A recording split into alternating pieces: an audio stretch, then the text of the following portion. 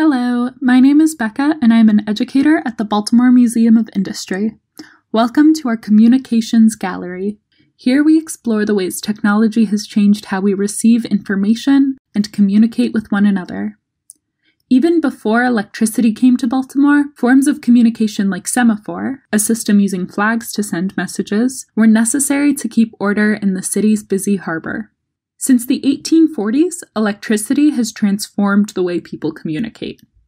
In 1844, America's first electric telegraph line connected the capital in Washington to Baltimore's Mount Clare Station, a hub for the Baltimore and Ohio Railroad. These telegraphs allowed people to communicate through Morse code, sending a series of long and short signals to write messages.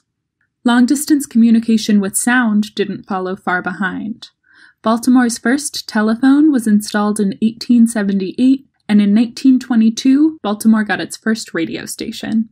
In addition to broadcasting, Baltimore became a major manufacturer of radios. In 1937, Bendix began to produce radios at a plant on Fort Avenue, just down the street from where our museum stands today. Baltimore's first TV station, WMAR TV, launched in 1947 with the broadcast of two horse races at Pimlico Racetrack and is still on the air today. Technology continues to evolve and change the way we are able to interact with one another. Smartphones, the internet, and even audio guides like this allow us to learn and communicate in ways people could not have imagined in the past.